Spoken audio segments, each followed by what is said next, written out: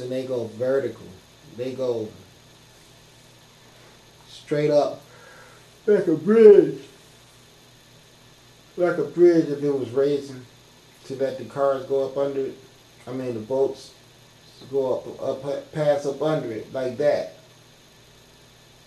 Where these they go straight up in the air like that, and then they anchor themselves together. All these ships, they they fly and they anchor themselves together, and and um, they use the weight of each other to sustain each other, and then that way they all have to use the least least amount of electricity because they can all lock in the grid together and all have ways to keep them sources of power sustained with each other. That's this is the only place in the universe that has no unity like that. But everywhere you travel, you always go where people is not trying to necessarily make a profit off of you. They're just trying to push the effort of sustainment, push everybody do they push to make sure that everyone stays in a balance of um, of we can we, we can depend on each other, and then we know that that's and then everyone stays together to fight off infestation, which brings me back to the earth and this religion stuff. And the reason why they get upset when I tell you about those little grays that um, Morris Donaldson be talking about. I've seen those things more than once too. Yeah, that's why they uh, they it's a lot of stuff that's been going on on this earth. They they've been keeping everybody asleep by keeping you locked in to those little phones. Well, you waste so much time testing. And then the poverty thing keep people broke too. That's a real big that's a real big one there. Where you can't go anywhere. Then throw in the smoking habit if you smoke two packs of cigarettes a day, that's $20 a day. How you going to have $140 a week to support a habit like that? See, all this stuff comes from corporations commercializing everything. So the smart people that they call those little grays are the ones who think all this stuff up. And they actually are eating, your, eating people too. And this is what's sad and this is what's horrible. This is what I want everybody to know. They um, they're everywhere. Everywhere you look, they even are above ground. They in, they're in a lot of places where you intermingle with people all day, and you don't even know that that's who they are, and that's that's who they are. They they are those shapeshifters, and see you can you can pick up on the vibrations on them if you really really are clean, but you won't be able to if you don't even know that you're able to. See, that's the thing about it. There's people that's walking around on this earth right now that are not human. And I mean, they're not. You you think that they are, but they're not because they're just like what everyone has been saying. They can make themselves look like human and blend in with human. And so the reason why the sun is showing you guys that I have all this this power and all this capability and this connection with these UFOs and this connection with the sunlight is because I was sent here to help you all. But when I tell you you're so goddamn stupid, it's all because I know that I need to get inside of you and get at you and disturb you and rough you up and make you start thinking. And if if it takes a school bus to flip over, or if it takes a mountain to slide down on a village, if it takes for the whole earth to open up and swallow a whole city, what is going to be the cost that was too big or it was just too expensive if for the long run the overall percentage of everyone on earth gets saved and does not have to be destroyed? Because like I've always said to everyone through honesty, whether you believe I'm who I am or not, it's not going to have anything to do with the true dynamics of me being who I am. It's those dynamics. And your stupidity is going to really cost you a lot. I keep trying to point, everybody keep trying to look at my personification and I'm trying to tell you I am a whole lot of things. All right, believe that. I do so much stuff, and when you be able to communicate with this body, don't think that the body is that which encompasses the true dynamics of me. It is not. The true dynamics of me is the light source energy, the sunlight that is encapsulated inside of these aggregates is who I truly am. I keep trying to point that out to you.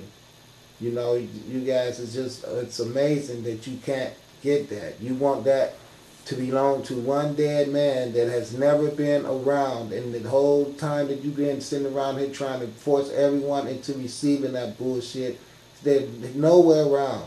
And even when someone have to come back and get something from you guys that you have stolen from everyone, some of your attitudes are just so messed up, it's pathetic. And then there's some people who's there that just genuinely should be there. And that's the reason why I say that type of circumstance and that type of community necessity should not be controlled by the church groups. It should not because the only thing that does is give the church groups more power to manipulate people into receiving them more or being deprived more. So it's the launching of deprivation that gives support for the church to be rooted. The, the, the launching of deprivation is the rooting of the church. All right. Everybody who needed soup, the soup, the soup lines and everything, it's always the church.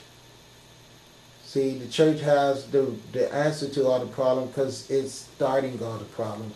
And you can't get mad at me for being the person that come here and see that and want to point that out to you. I'm saying to you, the Catholic Church, along with the Christian churches, are the reasons that you guys are all being misled and broke and poor all the time. You should de- you should be deifying yourself and deifying your children and, and looking in the mirror, knowing you're looking at God, and take your children and stand them in the mirror with you and tell them you are God. And then let your child stand in the mirror with someone else's child and tell them both that they are God and everything. And stop with this having a religion that make you believe that your white skin makes you purer than other and that you have a right to hang people and hate people. Because that's all that is, it's the perpetuation of hatred. And then the other day, I know for a fact I saw in the morning the news flash that came on and told me that there was three white kids that killed that white man that was jogging that morning. I saw it two times on KATU news. And then that night it go change. And then they gonna bring a whole new thing out and that is three black men now that did the murder. With the same description of how to murder and the same motive. And I'm sitting here saying, now what kind of bullshit is that? And see, this is the Zionist bullshit that the Sun has told me to boldly tell them, you know what, you guys better start thinking over because all this murder and everything that you've done over. And then after I come and tell you all about World War One, World War Two, the Catholic Church, why all this stuff done happened on the earth, you had the nerves to ostracize me for telling the truth. And the Sun is sitting there looking saying, it's okay. It is okay. Don't even worry about it. Cause see, like you told them, what if it flood here? What if the school bus flip over? All these things you're saying to them is because I'm telling you to say that to them, and they know that. They all know it. The problem is that they want to sit up and have their cake and eat it too, and really try to subscribe to all that bullshit that they want, so they can keep being the brutal people that they have been, and keep abusing my melanated children on that earth is what they plan on doing forever. These white men is enjoying having these black women and doing all the drugs they can do from all the money that they've gotten off enslaving and making failures of all of the men. And then you don't have a woman to help you because where is she at? She's somewhere fooling around with him. Doing cocaine with him. Doing heroin with him, drinking Cristal with him. Okay, while the men is out here going through all their prison systems, all this bullshit that we have to go through, watching them and the Mexicans laugh because the Mexicans having the black women too. And then they have the nerves to get really, really mad if you even look at one of their women or say a complimentary thing about them, you know? And this ain't the hatred that I'm preaching. This is a description of the world that I'm preaching. So see, that's what you all need to stop doing is trying to look at me as if I'm the bad person when the only thing I do is come out here and talk to myself and put it on YouTube. And then other people that want to hear it, they got a right to come hear it. But if you is a person that don't want to hear it and you're going to get mad because I said it, then what make you think that you are the person invited to hear this? Because some people can stomach the truth. And those are the people that I want to talk to. The people out there who knows for a fact that what you white people did is you got together with your religion and you victimized everyone on the earth and you kept us all under your thumb with your guns and your corrupt policing and your deprivation at the work sites and everything that you did. You sent all those jobs from Detroit to Mexico and destroyed Detroit. Okay, so don't sit up and try to act like what I'm saying is not true. When you could go back yourself and you can look at all of the issues of what efforts you white people put out and why you put them out, you will see for a fact that it has seemed like there is a pattern of you guys implementing strategy to make sure that you always could benefit and make a profit off of us being displaced and despaired and desolate and dumb as hell, all right? And under the privileged propagandas of your indoctrination about your white God. And we send our dumb asses up teaching our children to respect, as we all die and go to prison, your prisons over and over and over.